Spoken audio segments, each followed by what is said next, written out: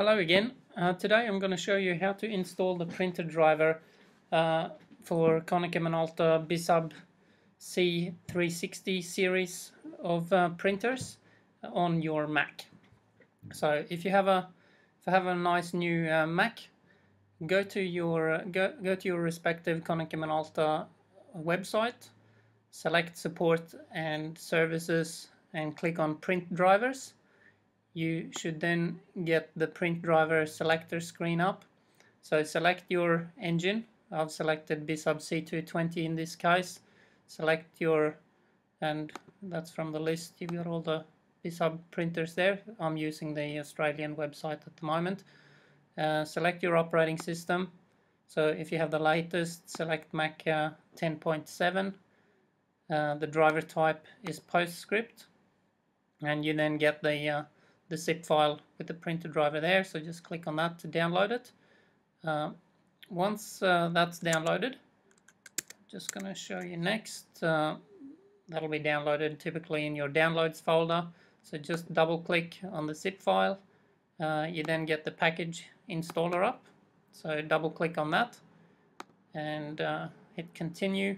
Just follow through the wizard with the default settings standard. So just go continue continue continue, agree to the terms and conditions, and uh, install. And you might have to type in your password for installing software. It'll run through the package and uh, say successful. Okay, so now we've installed the printer driver. The next thing we have to do is to add the printer. So I'll go in click on the Apple symbol at the top left hand corner, go into System Preferences, uh, click on your print and scan hardware.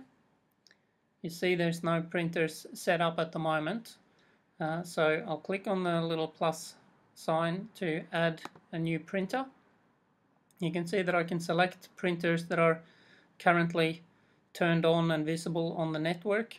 So if it doesn't show up on here, make sure your printer is turned on and also that the Bonjour or Apple Talk uh, uh, network protocol is enabled on the printer. It should be enabled by default, so it should up sh show up there. Now I'm going to select the C220. Uh, it gives you a few options, function version, uh, so make sure your printer's options are accurate, accurately shown here so you can take full advantage of them. So this is basically the configuration that you've got.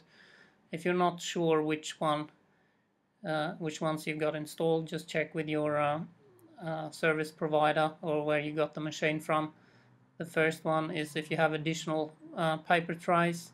I've got the PC408 installed on mine. Finisher, if you have a finisher installed, uh, in my case, I have a finisher and booklet maker installed. So I'll select that. You need to select these in order to take advantage of those options in the printer driver. And if you have a punch kit installed, I've actually got uh, this one installed. And uh, say OK. And you can now see I've I've installed it. It's now ready to go.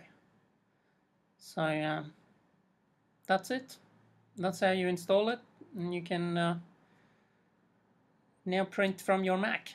Okay. Thanks for watching and I'll talk to you soon